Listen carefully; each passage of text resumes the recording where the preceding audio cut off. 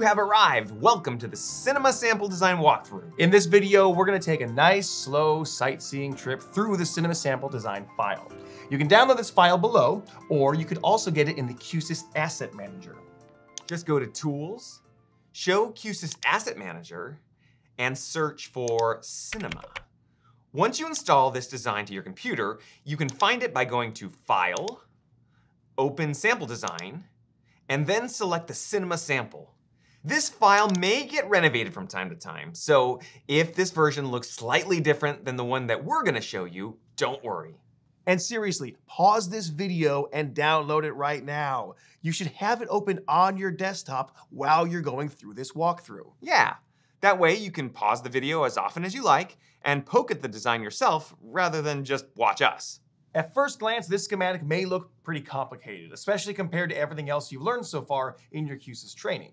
But I promise it's not as scary as it looks once we give you a little tour of what's happening. However, this is going to take a little bit longer than the normal five minute video, so we're gonna throw in as many groan-worthy movie jokes as possible because I said so. Yeah.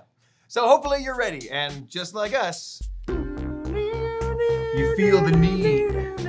The need for spending a reasonable amount of time methodically exploring all areas of this important topic at a comfortable pace. The first thing that you'll notice is that this design is built for a single auditorium, one screen. In fact, let's edit this text field to indicate that this is screen number one. If you have multiple auditoriums in your venue, as most theaters do, then you could copy and paste this entire design to a new schematic page. You'd have to add new hardware devices, of course, but it's a good place to start the design of another auditorium. Looky there, twins. Get out. But for now, we're just gonna focus on one auditorium, so we will delete this one.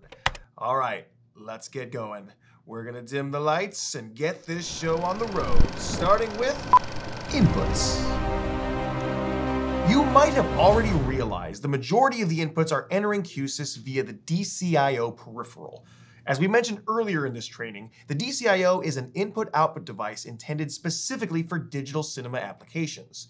You would typically have one of these per auditorium located in the projection booth. Let's open up the DCIO's control panel.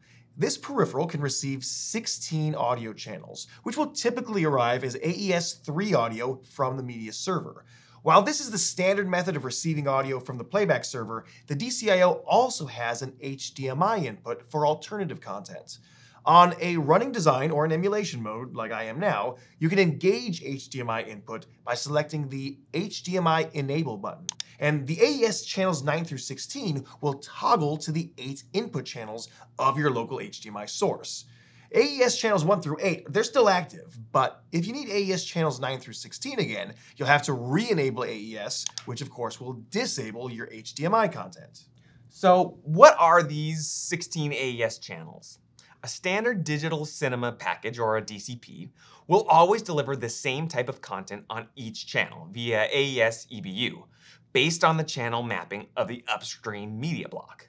This chart shows the default channel assignments on the DCP according to SMPTE specifications, but it's not uncommon for people to reorder the channel mapping on the media server. That would obviously rearrange these channels in Q-SYS 2, but don't worry, the software is plenty flexible enough for you to manage that. By default, channels 1 through 3 are left, right, and center channels. Channel 4 is the LFE, or low frequency effect channel, which is your subwoofer. Channels 5 and 6 are your left and right side surround channels. Channels 7 and 8 are your assistive listening channels. 7 contains a mix for hearing impaired listening devices, and 8 contains a narrative track for visually impaired audience members. Tracks 9 and 10 are reserved for SDDS, which is typically not used anymore, but may contain left center and right center screen channels in a 5 channel screen system. Tracks 11 and 12 are important to us as they contain the left and right rear surround audio. The rest of the tracks are used for motion seat data, immersive sound sync data, and sign language video, which we won't really get into in this tutorial. Mostly, we care about the eight channels used in a 7.1 mix and the assistive listening channels. So, just like later sequels in a horror movie franchise, you may be wondering why these channels exist at all if nobody's ever going to want them. But don't forget that when we use the HDMI inputs, you'll need all eight of these channels, which is why they're wired in your design. And again, it's not uncommon for someone to remap their assistive listening channels to AES 15 and 16, for instance, which is why we provided these broken signal tags here so you can easily reroute them in QSYS 2. The DCIO also has some analog inputs an XLR input for a local microphone with phantom power, and a stereo line input for other content, both of which are often used for special events held in an auditorium, like a high school presentation on history. Excellent! These local inputs arrive in QSYS via this analog in block. The stereo input actually gets delivered to a custom cinema component called the Active Matrix Surround Decoder, which will upmix a simple stereo signal into a left, right, center, and surround channels so that your pre-show content, which is typically only stereo, can make use of all your cinema speakers. We've also included a two-track audio player, which might be used for pre-show background music or announcements. This audio player is labeled NS, or non-sync, meaning that this audio does not need to be in sync with the picture. And finally, there's a Cinema pink noise generator and loudspeaker monitor for testing purposes.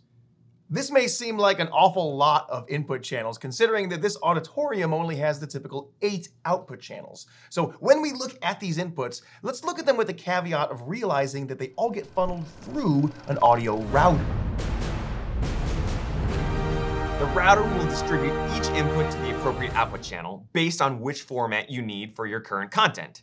You can see these outputs labeled left, right, and center for the fronts, then low frequency effects, left side surround, right side surround, left rear surround, and right rear surround.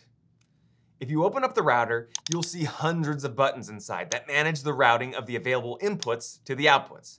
Don't worry, you don't need to change these manually.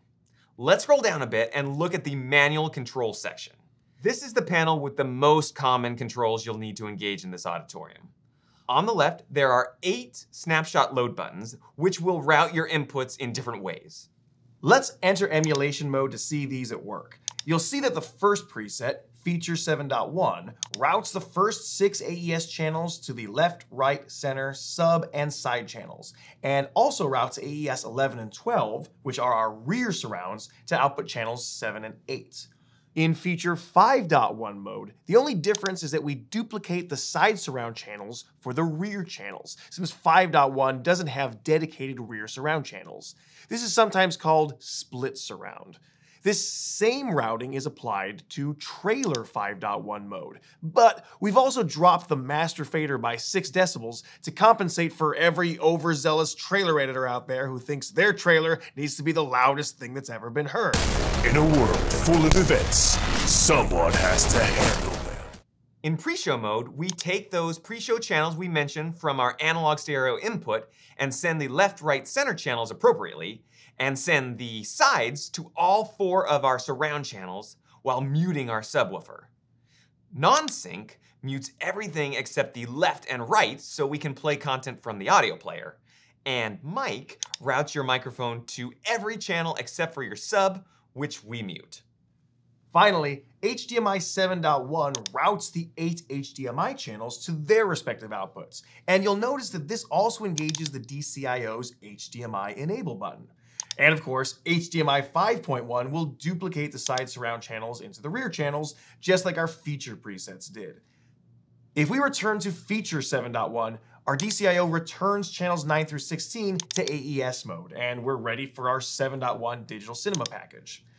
After we've routed our inputs into the eight channels we actually want, we have a couple more things at play here in the design. First, all eight channels go through a master fader. When I left you, I was but the learner.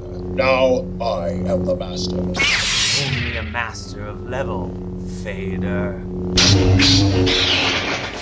Don't worry, Master Fader is just a standard gain block to make global volume adjustments. You might recall that the gray dots on these gain and mute buttons mean they've been added to the named controls bin for external control, and we've also placed them in our manual control panel below. After the master fader, we have a master delay if you need to impose any audio delay, and then a couple other options. The left, right, and center channels get sent through the bypass mixer.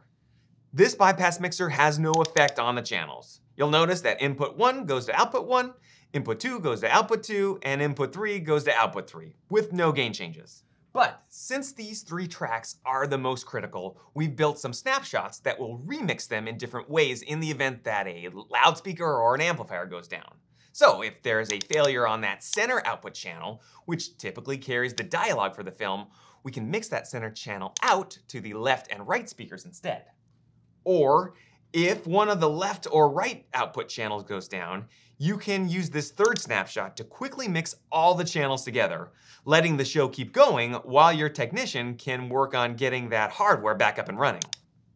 The last portions in this processing section are down below. First are assistive audio mixes. We're taking the left, right, and center channels of whatever format we've selected and combining them into a single channel that is slightly weighted favoring the center channel, which again usually has the movie's dialogue. This is delivered to our HI, or hearing impaired outputs, for viewers who are using an assistive listening device. This router allows you to choose between using this track or the HI channel that comes from the DCP.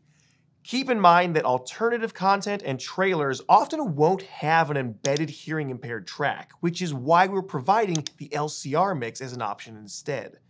We are also delivering the AES-8 signal, which contains the visually impaired narration track, to our VI output. Finally, we have some internal meters we can view for any of our channels, and then one more router that can deliver any of our eight output channels to a local monitor in the projection booth. You'll notice that the hearing impaired, visually impaired, and monitor outputs are all analog outputs on the back of the DCIO, which can be wired to your local assistive system or a loudspeaker. The monitor out is a 10 watt power channel, so you can use a passive loudspeaker like an ADS32T or an ADS4T. And we've taken the gain and mute buttons for this channel and placed it in the manual control section as well. The last thing to note is that you can also choose to route the loudspeaker monitor to your monitor loudspeaker, which might sound a little like word salad. But you may remember from earlier training that every loudspeaker in the design has a listen button that will send that loudspeaker's signal to the loudspeaker monitor component. We compiled all the listen buttons in this design into this container here, letting you quickly select an actual loudspeaker channel to route to your local monitor. This is different than listening to the source because it also contains all the equalization, tuning, and loudspeaker filtering that occurs later in the signal path. So this is a better indicator of what the audio actually sounds like in the auditorium. Okay, so by now you should be comfortable with all the inputs, the processing, and most of the manual controls that come with this design. But we're only halfway through. So let's take a quick break and then we'll come back to look at the rest of the design.